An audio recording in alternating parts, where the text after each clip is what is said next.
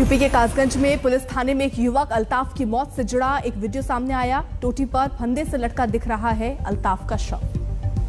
Kasganj case की magistrate जाँच के आदेश जारी। अब तक पाँच पुलिसकर्मी निलंबित, दो लाइन हासिल। ओवैसी ने गोरखपुर के मनीष गुप्ता हत्याकांड से कासगंज की की तुलना, कहा यूपी पुलिस शैतान की औलाद। पीड़ित परिवार से मिलने आज कासगंज जा सकती हैं। प्रियंका गांधी तीन बजे जाएँगे। यूपी कांग्रेस अध्यक्ष अजय कुमार लल्लू। यूपी चुनावों को लेकर कांग्रेस अध्यक्ष सोनिया गांधी के आवास पर अहम बैठक। प्रियंका गांधी और भूपेश बघेल भी पहुँचे। पश्चिम बंगाल के कूच बिहार में बीएसएफ और गो तस्करों के बीच मुठभेड़, गोलीबारी में तीन की मौत। मृतकों में दो बांग्लादेशी, एक भारतीय। फायरिंग यार्ड में गो तस्करी का आरोप। कूच बिहार में फायरिंग के बीच बंगाल दौरे पर कोलकाता पहुँचे केंद्रीय गृह सचिव अजय भल्ला बीएसएफ के कार्य क्षेत्र को लेकर अहम बैठक।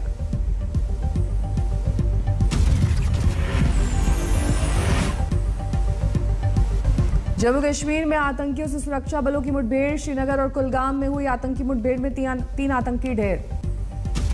सुरक्षा बलों ने कुलगाम में मुठभेड़ के दौरान दो आतंकियों को किया ढेर मारे गए आतंकियों में हिजबुल कमांडर सिराज मौलवी शामिल। बेगूसराय में शहीद लेफ्टिनेंट ऋषि कुमार के परिजनों से मिले सांसद राकेश सिन्हा। मुंबई में आज फिर आर्यन खान की एनसीबी के सामने हाजिरी। थोड़ी ही देर में पहुँच सकते हैं जाँच एजेंसियों के दफ्तर। राजस्थान के अलवर में फर्राटा भर्ती स्कॉर्पियो में अचानक लगी आग, झुलसने से ड्राइवर हुआ घायल। यूपी के हाथरस में टूटा रफ्तार का कहर बेकाबू रोडवेज़ बस, बेयर के ठेके में घुसी हादसे में तीन लोग हुए घायल। मुंबई के मानखुर्द इलाके में एक इमारत में लगी भीषण आग। आग पर काबू पाने के लिए बारह दमकल गाड़ियों का इस्तेमाल। तमिलनाडु के धर्मपुरी में रेलवे ट्रैक पर गिरे बड़े बड़े पत्थर। एक्सप्रेस ट्रेन की पाँच बोगियाँ पटरी से उतरी। जोरदार बारिश से लगातार दूसरे दिन चेन्नई का हाल बेहाल। ईएसआई अस्पताल के वार्ड तक भरा पानी। चेन्नई में बिगड़े हालात के बीच कोस्ट गार्ड की तैनाती। रिलीफ ऑपरेशन तेज। आंध्र प्रदेश के तिरुपति में भारी बारिश। जलभराव के बाद मंदिर के करीब श्रद्धालु परेशान। तिरुपति में कई जगहों पर सड़क पर दिखा दरिया जैसा बहाव, अंडरपास बना तालाब। वायु प्रदूषण की ज़बरदस्त चपेट देश की राजधानी दिल्ली।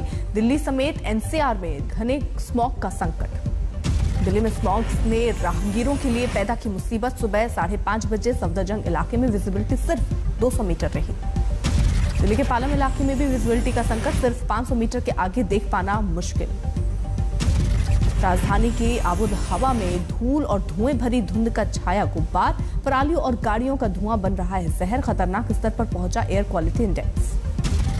दिल्ली के वजीरपुर और जहांगीरपुरी की हवा में घुला सबसे ज़्यादा प्रदूषण का जहर। दोनों जगहों पर 700 के पार पहुँचा एयर क्वालिटी इंडेक्स।